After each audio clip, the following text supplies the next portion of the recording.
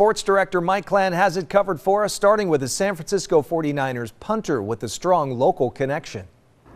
Back in Super Bowl 54, Mitch Wishnowsky became the first Santa Barbara City College player to ever make the big game. This Sunday, he'll try to become the first Vaqueros alum to win a Super Bowl.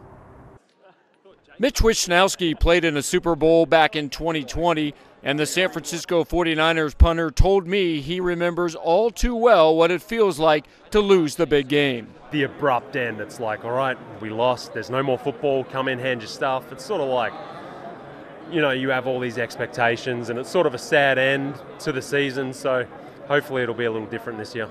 That Super Bowl loss to Kansas City ended Wishnowsky's rookie season. Now he's a five year veteran. I think really the difference from like now till then is probably just more relaxed with it. Um, I guess more myself on the field.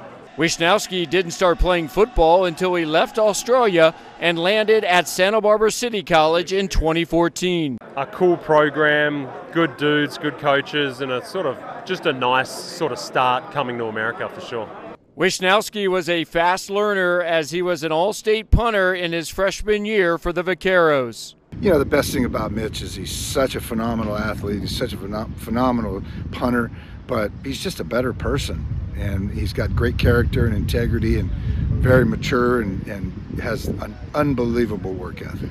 He also met his future wife, Maddie, at SBCC, and they still make Santa Barbara their home in most off seasons. The Vaqueros is what brought you guys together. Yeah, so she played volleyball and I played football, and yeah, I shared an English class, and yeah, her family lives in Goleta, so that's sort of like our little home hub in America.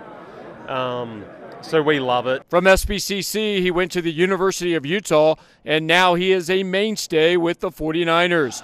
A win on Sunday will make him the first player ever from Santa Barbara City College to be a Super Bowl champion. Mitch and Maddie have a two year old daughter, and Mitch told me they're expecting their second child this summer. Congratulations to both.